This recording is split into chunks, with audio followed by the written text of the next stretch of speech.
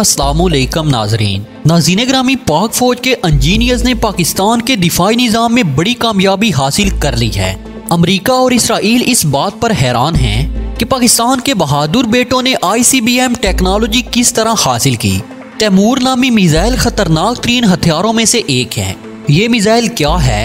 इसकी रेंज क्या है? क्या ये अमरीका तक मार करने की सलाहियत रखता है? आज हम आपको इस बारे में तफसीली मालूम फ्राहम करेंगे। लेकिन इससे कबल कि हम अपनी वीडियो का आगाज़ करें, चैनल पर नए आने वाले दोस्तों से गुजारिश है कि पहले चैनल को सब्सक्राइब करते हुए साथ मौजूद बेल आइकॉन को भी क्लिक कर दें, ताकि मालूम पर मबनी वीडियो का नोटिफिकेशन सबसे पहले आपको मिलता रहे। नीज हमारी इन काफियों का सिला हमारी वीडियोस को ज़्यादा से ज़्यादा लाइक और अपने दीगर दोस्तों के साथ शेयर करके ज़रूर दिया कीजिए। तो आइए नाजरीन, चलते हैं आज की अहम और दिलचस्प मौजू की जाने। दोस्तों, पाक फौज अपनी जियोग्राफियाई सरहदों की हिफाजत के लिए हमा वक्त कोशा रहती है और पाक फौज का शुमार तरबीती और जंगी हमत अमली के लिहाज से दुनिया की मज़बूत और तजुर्बाकार फौजों में होता है। पाक फौज ने दहशत गर्दी के खिलाफ कार्रवाइयाँ करके अपनी अमली हमत अमली और कारनामों का सबूत दिया और दूसरे ममालिक की अफवाज के लिए एक अजीम मिसाल कायम की। शुरू में गोया पाक फौज को बहुत से मसाइल दरपेश थे और ख़ासकर हमसाया दुश्मन की तरफ़ से पेश आने वाले मसाइल का मुकाबला करना और इनसे नबूर्द आजमा होना एक मुश्किल अमर था। सरहदी तनाज़ात जैसे जैसे शिद्दत इख्तियार करते हैं, पाकिस्तान को इसी लिहाज से अपनी दिफाई कुत में इजाफा करना पड़ता है, क्योंकि दुश्मन मुल्क भारत नित नए नए जंगी हथियार खरीद कर खत्े के अमन को बर्बाद करने पर तुला रहता है।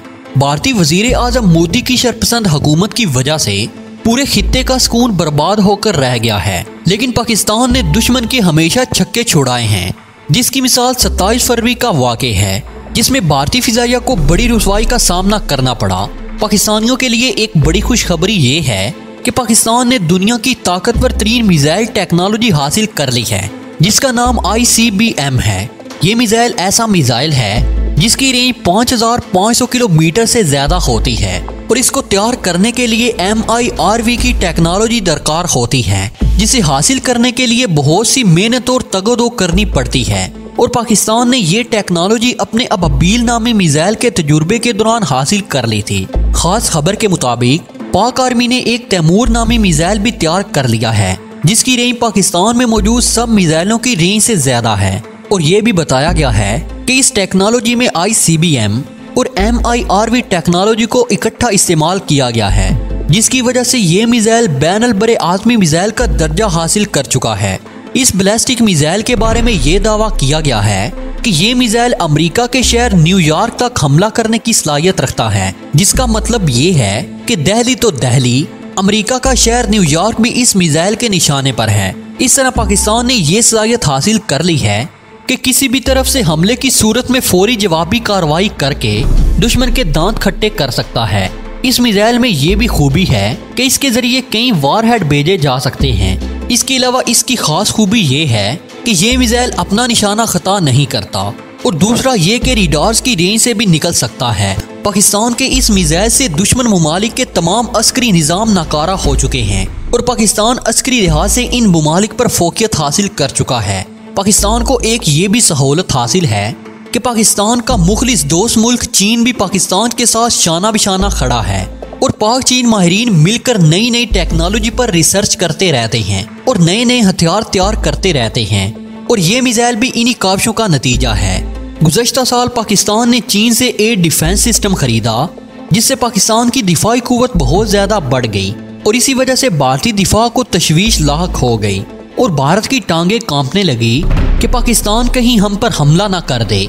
मोदी हुकूमत जिस तरह नित नई नई स्कीमें बनाती रहती है और पाकिस्तान को धमकियाँ देती रहती है, इससे ये साफ़ साबित होता है कि भारत खत्े के अमन को तबाह करने की हर मुमकिन कोशिश में रहता है। बस पाकिस्तान के लिए ज़रूरी हो गया है कि जो मुल्क प्यार की जबान नहीं समझता, उसे इसकी जबान में ही तंबी की जाए। और नेशनल लेवल पर भी पाकिस्तान भारतीय कार्रवाइयों को बेनकाब करने की कोशिश जारी रखे हुए है।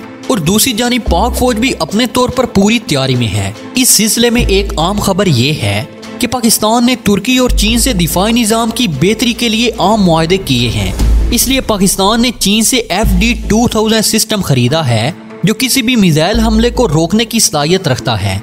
इस दिफाई निज़ाम की बदौलत कोई भी दुश्मन मुल्क पाकिस्तान पर मिसाइल हमला करने की ज़रूरत नहीं कर सकता। इस निज़ाम की पाकिस्तान फौज में शमूलियत के बाद भारतीय फिजाइया कभी भी पाकिस्तान की हदूद में दाखिल नहीं हो सकेगी। ये माहा पाक चीन के इंतहाई अहम माहों में से एक है। पाकिस्तान ने अपना जोरी मनसूबा काफ़ी पहले से शुरू किया और इस पर तेज़ी से काम किया गया। आज पाकिस्तान एक एटमी मुल्क है और इसके एटमी मिसाइल दुनिया के बेहतरीन मिसाइलों में शुमार होते हैं। पाकिस्तान के पास इस वक्त लॉन्ग रेंज से शॉर्ट रेंज तमाम मिसाइल मौजूद हैं। अतफ मिसाइल जो एक मल्टी ट्यूब मिसाइल है, इसके अलावा गजनवी मिसाइल जो ज़मीन से ज़मीन तक टारगेट को निशाना बना सकता है, जिसकी रेंज 290 किलोमीटर तक है। गोरी मिसाइल भी पाकिस्तान की अस्करी क्यादत के पास है, जिसकी रेंज 1500 किलोमीटर है, और ये 800 किलोग्राम वज़न अपने साथ ले जा सकता है। शहीन वन भी अपनी खूबी के लिहाज से एक आला मिसाइल है, और इसे सुपरसोनिक मिसाइल भी कहा जाता है। इसकी रेंज 750 किलोमीटर तक है और एटमी मवाद ले जाने की सलाहियत रखता है। इसके अलावा गोरी टू मिसाइल, जिसकी रेंज 2000 किलोमीटर है, जो कि एक मीडियम रेंज मिसाइल है। शाहीन टू भी सुपरसोनिक मिसाइल कहलाता है और इसकी रेंज भी 2000 किलोमीटर तक है। नाजीन ग्रामी पाकिस्तान की दिफाई कुत का जायजा लें तो पाक फौज में इस वक्त छह लाख बीस हज़ार फौजी अपनी ड्यूटी सर अंजाम दे रहे हैं और दुनिया की ग्यारहवीं सबसे ताकतवर फौज है। हालाँकि दिफाई अखराज के एतबार से पाकिस्तान दुनिया के तीसवें नंबर पर है। पाक फौज की ताकत का अंदाज़ा इस बात से लगाया जा सकता है कि पाकिस्तान ने अंदरूनी दहशत गर्दी के नेटवर्क को किस महारत से तबाह किया, ये एक ऐसा चैलेंज था जो ईरान, इराक वगैरह को भी दरपेश था। लेकिन ये ममालिक इनका मुकाबला करने में नाकाम रहे और खाना जंगी का शिकार हो गए। इसी तरह अमेरिका भी अपनी ताकत के बावजूद अफ़गानिस्तान के नेटवर्क को ख़त्म नहीं कर सका। पाकिस्तान दुनिया की सातवीं एटमी कुत है। आलमी मुआशी माहरीन के मुताबिक, पाकिस्तान दुनिया की बीसवीं बड़ी ताकत बनने जा रहा है, जबकि 2025 तक इटली और फ्रांस को पीछे छोड़ते हुए दुनिया की सोलहवीं बड़ी ताकत बन सकता है। तो नाजीन ग्रामी आज की वीडियो में बस इतना ही। हमेशा की तरह उम्मीद है कि आज की ये वीडियो भी आपको बेहद पसंद आई होगी। वीडियो पसंद आने की सूरत में इसे लाइक कीजिए, दोस्तों के साथ शेयर कीजिए, और कमेंट सेक्शन में हमें अपनी कीमती तजावीज़ से ज़रूर आगाह रखिएगा। तो दोस्तों, अब तक की अपडेट्स के लिए इतना ही। मिलते हैं एक नई वीडियो में। तब तक के लिए अपना और अपने प्यारों का ढेर सारा ख्याल रखिएगा। अल्लाह निगेबान।